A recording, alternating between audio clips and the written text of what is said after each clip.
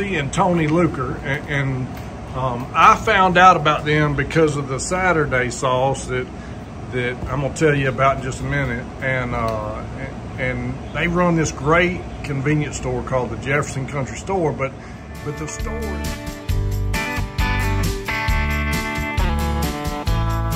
I grew up in this store, so I, my family and I lived next door to this store until I was about four, and then we lived about two miles down the road. Uh, and I, you know, I think that most of the people that I know, I know from this store. Um, just, I'm 38 years old, and I've, I've been in here all of my life, really, off and on. Uh, when we were kids, we hung out at the store with my aunt or my mom, whoever was running it at the time. Uh, and I, it's just the relationships that everybody that comes through here, we feel like we're family, and, and, we really are because we've spent so much time at the table together, in these rocking chairs, or you know, just just listening to the old timers tell you stories that you know you might not ever hear again, uh, that probably no one else knows or remembers quite like they do.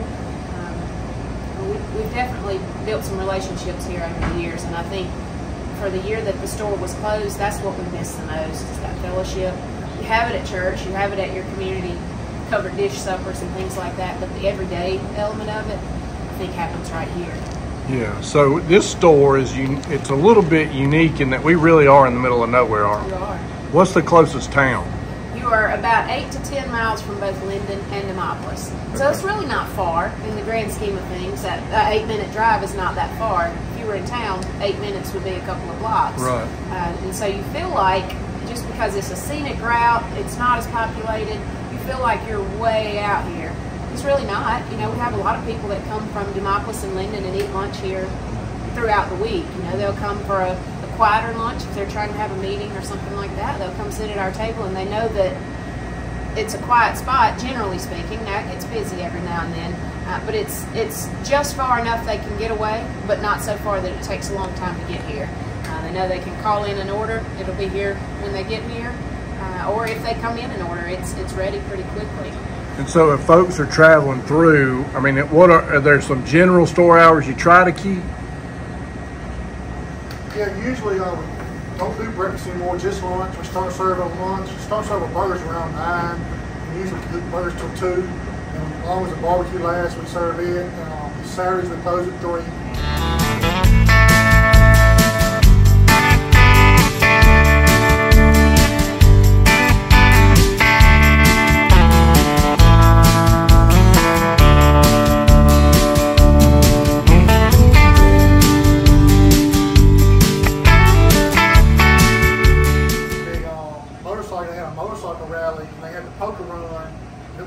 Warren Davis and Leroy Addison. to send people to the store to get more lettuce, more tomato. I think two times. Yeah.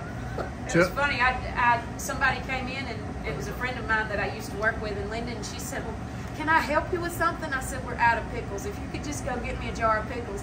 And she comes back with a jar of pickles this big, and that was a really big deal. Uh, we use a five-gallon bucket of pickles now, but um, that that was a big surprise for us the first weekend that we were open and 50 to 60 motorcycles stopped in the parking lot. We didn't know what to do. We we went into this fairly blindly. We knew the community and we knew what the store's needs were. We knew the, the purpose that it served in our community. We we never could have had any idea of, of how things would would go, the way this journey would go, because we didn't have any business going into business. We didn't know anything about going into business. Tony had had worked in sales and I worked in communications, so that was the extent of it for us. We didn't know how to run a business. Um, a minute ago, you, you started to say this this wasn't really about business. Uh, not, it's not about business at all. It, it's about community for us. Um, if this was about getting rich, we'd have gone home a long time ago. Um, this is about trying to figure out how to make it work so that we can keep something going for our community. We, we just need to pay the power bill, pay the rent, and keep some stock on the shelves, you know. Um, you know, we talked about locally sourcing and things like that. We, we don't buy in bulk. We don't have the freezer space to buy in bulk. We're not buying off the Sysco truck. Tony is, is buying fresh ground beef and he's pounding these hamburgers on the griddle. That was one of the very first conversa conversations that we had. We're not going to be able to stay alive selling somebody else's hamburger patty. And we just thought that that meant we can't pay that price for a hamburger patty and then sell it. I don't think we had any idea how much it would mean to people to be able to have a fresh cut, a fresh cut of bologna or or a freshly pounded hamburger patty.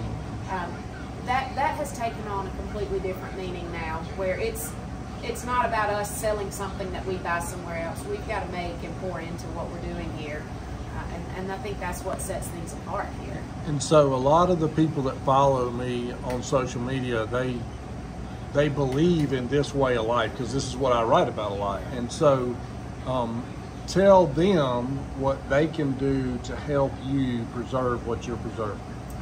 I support it. Any anytime you see somebody doing something that you believe in, even if it's not something you feel like you can make the time to do yourself, if you see somebody doing it, man, just just do whatever you can to help them. Even if it's spreading the word, you know, we talk about social media so much, and we all see the little graphic that says the biggest thing you can do is support your friends on social media, share their business. Do that. You know, be their be their cheerleaders, and, and anytime that you can support small, do it. Shop small and, support the local families because because it's it's not the big guys that are going to come in and save communities. It's not those guys that are going to come in and preserve our, our folklore and our, our heritage and our culture and our ways it's the people that live in the communities. Now, somebody else could come into Jefferson and try to run this business, and, and they'd probably do fine. I don't know. I'm not saying that we can. All, we're the only ones that can do this, but but because we live here and we know the people here, we know how to reach them. We know how to serve them pretty much. Tony knows what they want on their burger, but we know them. We know who they are. We know when they're having a bad day, and Tony can give them a really terrible joke and brighten their day, whatever. Um, it's about knowing who you serve and wanting to serve them. You've got to want to serve. How to folks tell us where to find you on social media? We're on Facebook and we're on Instagram. We're also on TikTok. TikTok's a lot of work, it turns mm-hmm. out. We do have a star, but you know he, he's busy all the time. Uh, but we're Jefferson Country Store on Instagram and Facebook and TikTok. Okay. And, and then one more time, if they want, let's just say somebody wants to order a bottle of the sauce just as their way of being a patron, tell them how to call and do that.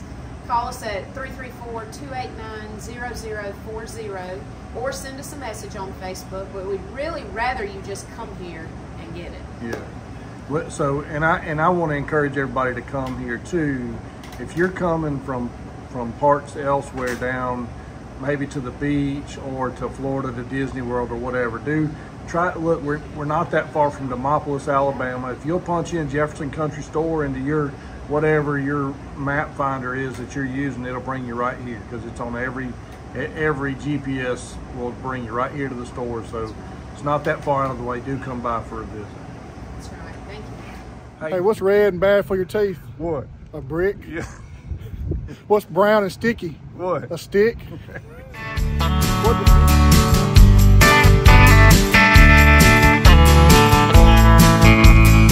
Jefferson, Alabama. I just wanted to point out this is the uh, Jefferson Methodist Church, and over here is the. My Cape is being obnoxious because she's ready to go. She's tired of waiting on me. So that's the Jefferson Baptist Church. Here's a really cool thing about this community now. They have church at the Baptist Church on the first and third Sunday, and then they have church at the Methodist Church on the second and fourth Sunday folks go to both churches because denominations here don't matter. They just want to serve and love Jesus. And so I wanted to show you though, you got the two churches here and you got the store here. And so the store really is right in the heart of the community. And so you, you, you've got the two churches and the store. If you ever coming through South Alabama, punch in Jefferson Country Store and swing by. You're going to love these people. You're going to love the store. You're going to love the feel and the nostalgia and the down home sentiment that it has, and you're going to love that Saturday too. So y'all have a great day.